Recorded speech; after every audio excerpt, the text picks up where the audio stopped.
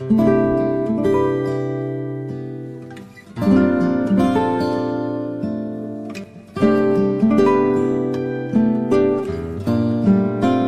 10 tháng 1 Thánh William. Thánh William xuất thân trong một gia đình người Pháp khá giả. Ngay từ thuở thơ ấu, William đã không lãng phí thời giờ vào những chuyện vô ích Và đã không để cho mình nhàn rỗi biết lời. Hằng ngày William dùng thời gian cầu nguyện. Khi vào tu dòng Sito, William cố gắng trở nên một đan sĩ tốt lành. Các thầy đồng tu rất khâm phục William, Mặc dù Ngài không chủ ý gây ấn tượng cho bất cứ một ai.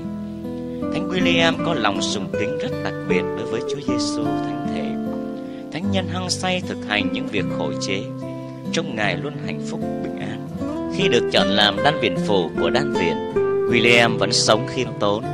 Ngài vẫn là Ngài. Khi Đức Tổng Giám mục giáo phận Bô qua đời, William được chọn lên kế vị.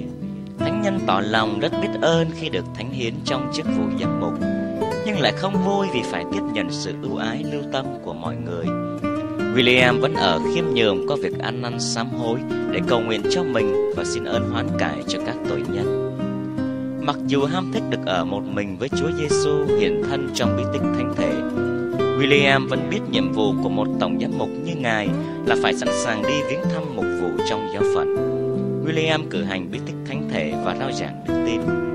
Ngài cũng thăm nom những người nghèo khó, đau yếu để an ủi họ và mang họ về với Chúa Kitô. Đức Tổng giám mục William qua đời ngày mùng 10 tháng Giêng năm 1209 và được an táng tại nhà thờ chính tòa Bô. Nhiều người cầu nguyện tại mộ phần của William đã thuật lại những phép lạ Ngài làm. William được Đức Thánh Cha Honorio III tôn phong hiển thánh năm 1218. Càng đọc truyện các thánh, chúng ta càng hiểu rõ được cách thế các ngài nên thánh.